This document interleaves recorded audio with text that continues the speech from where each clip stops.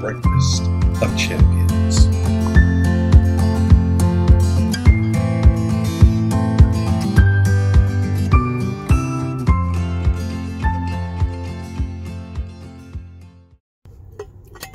a little thirsty. Yes. Oh.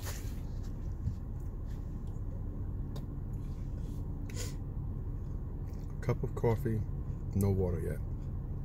And what else I have for breakfast? An apple turnover. An apple turnover. And now it's time to. I was gonna say make the donuts. Make some pretzels. but no videos inside this place, so therefore, lots of pictures. And we'll tell you all about it. Yes.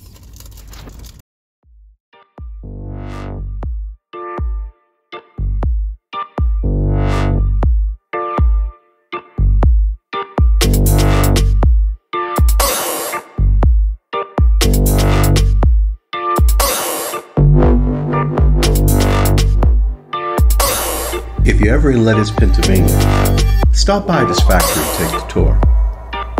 But here's something that's interesting.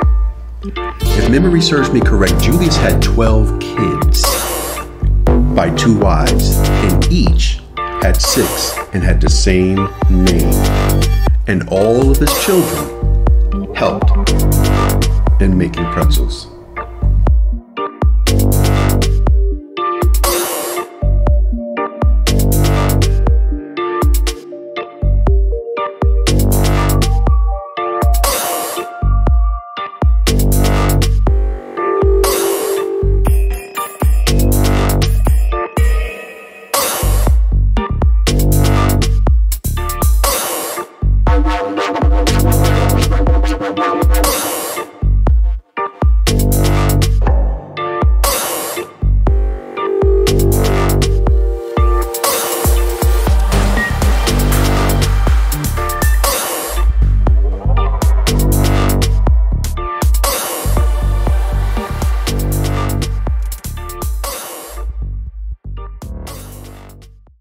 We couldn't show you inside was we just made pretzels. Oh look, paparazzi taking a picture of herself.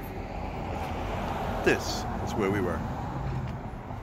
Yes.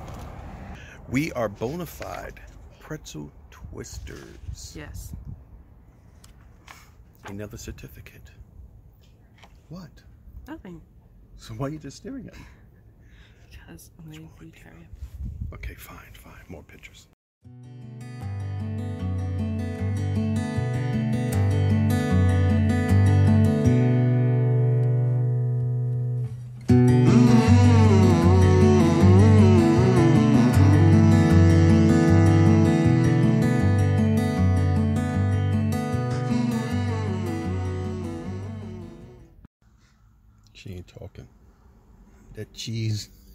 Must be. Okay. Talk time. I have already taken a bite. Um, it was good. of delicious Sturgis Bakery. I don't know why I my mind just disappeared. Julius Sturgis. Julius Sturgis Factory. Did I say bagel? Pretzel. no, you said bakery. Okay. Oh, hold on.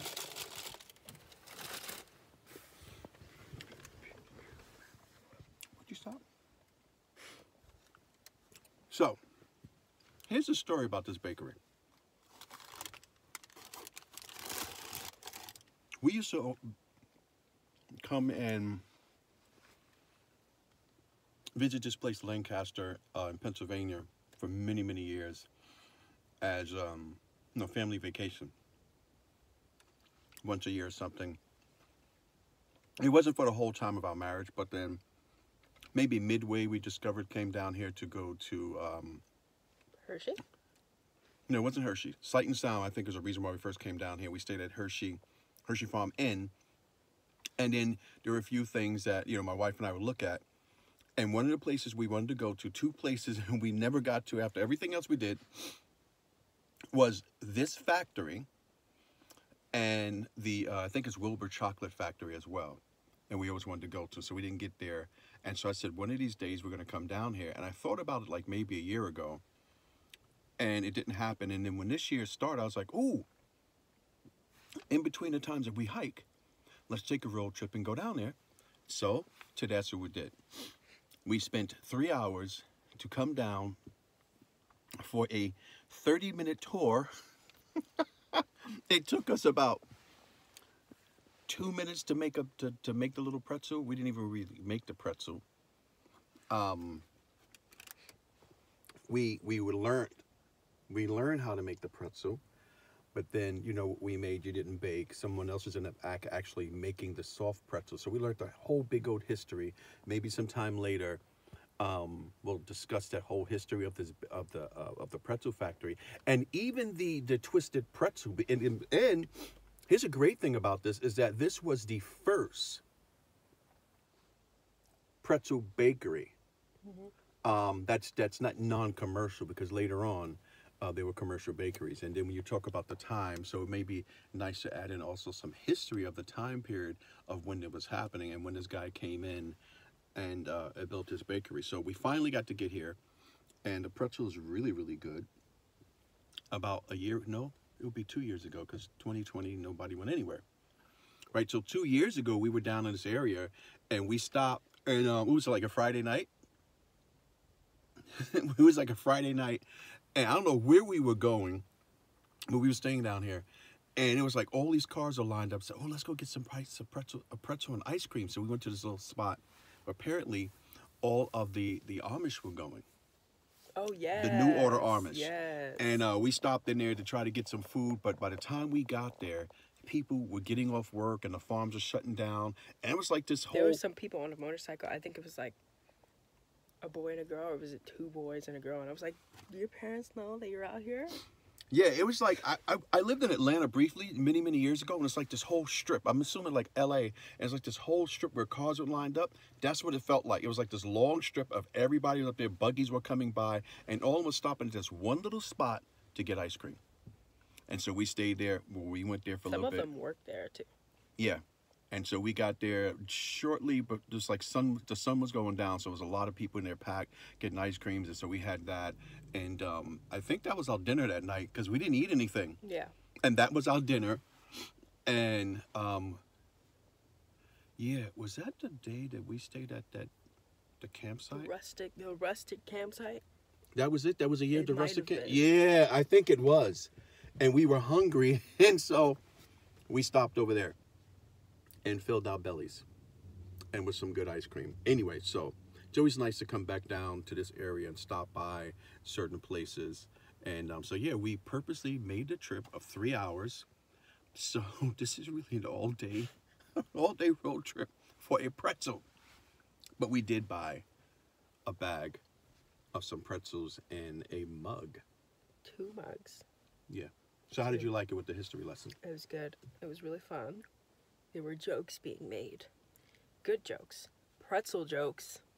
Pretzel jokes. I love Stop shaking the camera. Let me hold that for you. Go ahead, Pretzel I'm trying joke. to react. Okay, listen.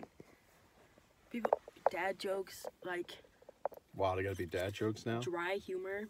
That is like the funniest thing ever to me. So the pretzel jokes, ten out of ten. And then the history. I love the history. Um, what the monks did with teaching the kids how to do the pretzel. Um, the Christian history of how the twist became into the pretzel, which was showing them how to pray. So you cross your arms at that time and you pray, and so that's the reason for the twist and the pretzel. Well, for, before the twist, it was you know The you roll prayers it go out, right. and then you turn it into a A U.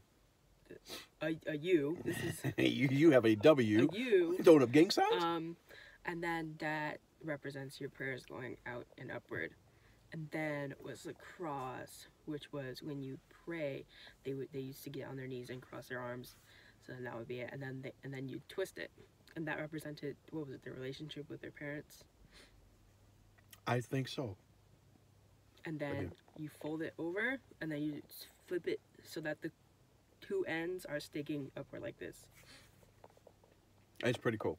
And so when you go inside the store, um, the shirts that they wear and the mask, because everybody's wearing masks these days, but the shirts that they wear will have the pretzel, as we usually look at the pretzel in a twist going down, their pretzels are turned around the other way because you have those three holes with the twists, right? So if you take a pretzel and you turn it around, then you have the three holes, and the three holes represented what? Come on, come on. The Holy Trinity. The Holy Trinity, and it's Father. upside down because God is supposed to be at the top. Right. So that's pretty cool. I didn't know that, so it was good to learn something new today. But yes. All right, well, that is it for this moment. Plus, oh, I have one more thing. What? Plus, if you're going, they they have merch, merchandise. One of my favorite things that I saw, I didn't buy it, but they had pretzel earrings in there They did? Mm-hmm. Oh, why did you get the pretzel earrings? because we were like already paying once I saw it, and I was like, okay, no, I don't want. it. Oh. But yeah, It's a tiny little house where the bakery began. But anyway, we'll probably talk to you about a little bit more about that later. But now it's time to hit the road back north.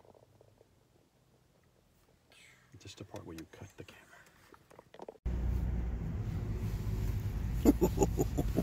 The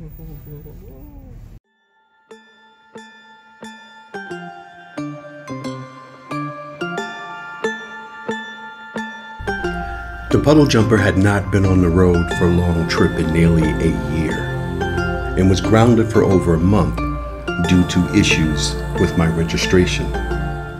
So that trip down to get the pretzel was a shakedown to see how it would do in a long journey.